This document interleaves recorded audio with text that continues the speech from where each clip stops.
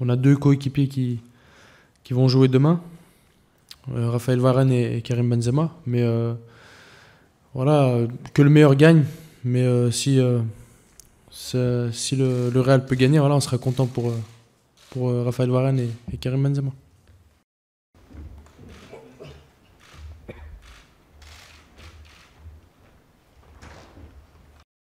Ma prolongation, honnêtement, j'ai pas de nouvelles. Je regarde mon téléphone là, mais on m'a toujours pas appelé. Donc ça veut dire que rien n'avance.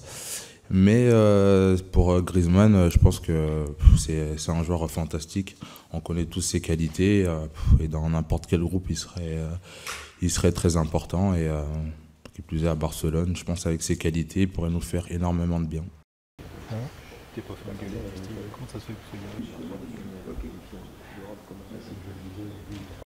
Pour la plupart, moi y compris, je ne l'aurais pas fait.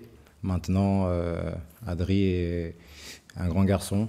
Euh, il a pris cette décision. C'est un choix euh, qu'il doit et qu'il va assumer. Donc voilà, nous aujourd'hui, euh, on se, se, préoccupe qu'une seule chose, c'est de se préparer au mieux pour cette grande compétition.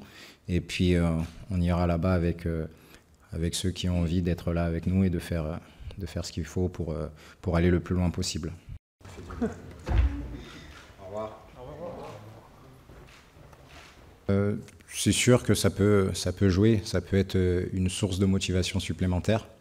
Euh, mais aujourd'hui, euh, ce, match est, encore, encore loin. Il y en aura, aura d'autres, d'autres avant.